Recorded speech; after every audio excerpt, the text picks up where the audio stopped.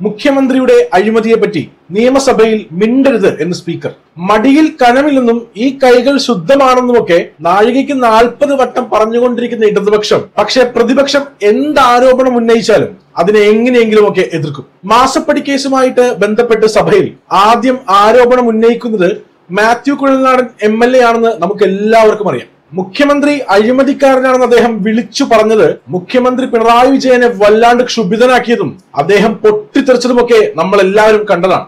മാത്യുവിന്റെ ഒറ്റയാൾ പോരാട്ടമെന്ന് കേരളം വിശേഷിപ്പിച്ച ഒരു സംഗതിയാണ് മാസപ്പടി കേസ്. ആരോപണം ഉന്നയിച്ച നാൾ മുതൽ ഇടതുപക്ഷ സർക്കാർ മാത്യുവിനെ വേട്ടയാടുന്നത് എങ്ങനെയാണെന്നും നമ്മൾ കണ്ടതാണ്. അനധികൃതമായി ഭൂമി സമ്പാദിച്ചു എന്നതാണ് അദ്ദേഹത്തിനെതിരെ പൊക്കിക്കൊണ്ടുവന്ന കേസ്. മുൻമന്ത്രി എം എം മണിയുടെ സഹോദരൻ ലംബോദരനും P K Anwar M L എയും ഒക്കെ അനധികൃതമായി കുഴൽനാടൻ കൈവശം വെച്ചിരിക്കുന്നു എന്ന് ആരോപിക്കുന്നതിലും അധികം ഭൂമി കൈവശം വെച്ചിട്ടുണ്ട് എന്ന് ഓർക്കണം ലംബോദരൻ പാവപ്പെട്ട കുടിയേറ്റക്കാരനാണ് എന്നാണ് മണിയാശാൻ പറയുന്നത്. മുമ്പുണ്ടായിരുന്നവരൊക്കെ അവിടെ ഇരുന്നോളൂ ഇപ്പോ കയ്യേറിയവരെ പിടിച്ചാൽ മതി. എന്നൊക്കെയാണ് റവന്യൂ വകുപ്പിനോട് അദ്ദേഹം ആജ്ഞാപിച്ചത്. ഓംബ്ര എന്നും പറഞ്ഞ് റവന്യൂ വകുപ്പ് പിന്നെ ആ വഴി പോയതുമില്ല. അൻവറിന്റെ അനധികൃത പാർക്ക് ഒഴിപ്പിക്കണമെന്ന് കോടതി വിധി വന്നിട്ട് പോലും ഒരു കല്ല് പോലും ഇളക്കാൻ പറ്റാതെ ഇന്നും അവിടെ തന്നെയുണ്ട്. എന്നിട്ടാണ് കമ്മിക്കുട്ടികൾ. മുഖ്യമന്ത്രിക്കെതിരെ ആരോപണം ഉന്നയിച്ച കുഴൽനാടനെ അൻപത് സെന്റ് കയ്യേറിയ കള്ളനല്ലേ നീ എന്ന് പറയുന്നത്. അൻപത് സെന്റ് സർക്കാർ എടുത്തുള്ളൂ എന്ന് പറഞ്ഞാണ് മാസപ്പടി കേസിൽ നിന്നും വിടാതെ കുഴൽനാടൻ ഇപ്പോഴും സംസാരിക്കുന്നത്. നിയമസഭയിൽ മാസപ്പടി അഴിമതി കേസിനെ കുറിച്ചുള്ള അടിയന്തര പ്രമേയം കുഴൽനാടൻ അവതരിപ്പിക്കുന്നു എന്ന് കണ്ട ഉടനെ അത് അനുവദിക്കരുതെന്ന് സ്പീക്കർക്ക് നിർദ്ദേശം നൽകിയ ശേഷം പാർട്ടി കൗൺസിൽ ഉണ്ട് എന്ന് പറഞ്ഞ് മുഖ്യൻ മുങ്ങിയിരുന്നു. കോടതിയിൽ കേസ് നടക്കവേ അടിയന്തര പ്രമേയം അവതരിപ്പിക്കാൻ കഴിയില്ല എന്ന് പറഞ്ഞ് സ്പീക്കർ ക്യാപ്റ്റനോടുള്ള സ്നേഹം അന്നേ കാണിച്ചു. കുഴൽനാടിനൊപ്പം നിന്നുകൊണ്ട് പ്രതിപക്ഷം അന്ന് സഭ ബഹിഷ്കരിച്ചു.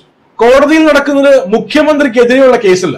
പകരം സി എം ആറിൽ നിന്നും മുഖ്യമന്ത്രിയുടെ മകൾ ചെയ്യാത്ത സേവനത്തിന് കൈക്കൂലി കൈപ്പറ്റി എന്നതല്ലേ?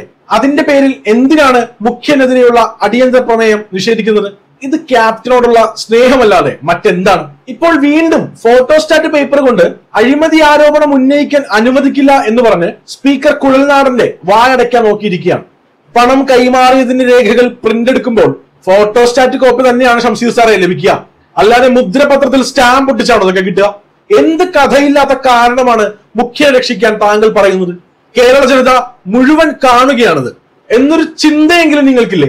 തെറ്റു ചെയ്തില്ലെങ്കിൽ നിങ്ങൾ എല്ലാവരും എന്തിനാണ് ഇങ്ങനെ ഭയക്കുന്നത്? സംസാരിക്കാൻ അനുവദിക്കാതെ സഭയിൽ വായടച്ചാൽ അതുകൊണ്ട് തീരുമോ എല്ലാം?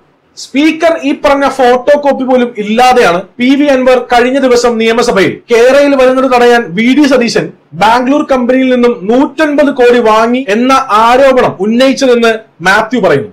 ഇതേക്കുറിച്ച് ചോദിച്ചപ്പോൾ ഒന്നും തന്നെ ഷംസീർ കുഴൽനാടനോട് പറഞ്ഞില്ല എന്ന് പറയുന്നു. ഉത്തരമില്ലാത്തത് കൊണ്ടാണോ? അതോ കുഴൽനാടനെ അത് ബോധിപ്പിക്കേണ്ട കാര്യമില്ല എന്ന ധാർഷ്ട്യം ഉള്ളത് കൊണ്ടാണോ? ഇത് തികച്ചും ജനാധിപത്യ വിരുദ്ധമാണ് എന്നാണ് കുഴൽനാടൻ പറയുന്നത്. ശരിയല്ലേ?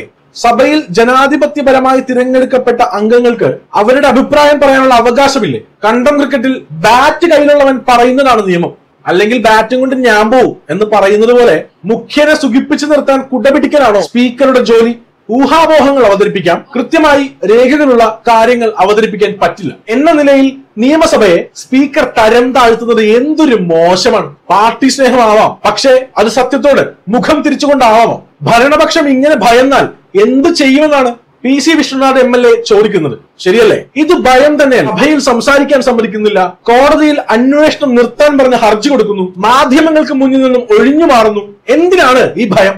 കേരള ജനത കണ്ടുകൊണ്ടിരിക്കുകയല്ലേ ഇത്? മടിയിൽ കനമില്ല എന്ന് പറയുന്നത് ഒഴിവറാണോ യഥാർത്ഥത്തിൽ ഈ കൈകൾ ശുദ്ധമാണോ?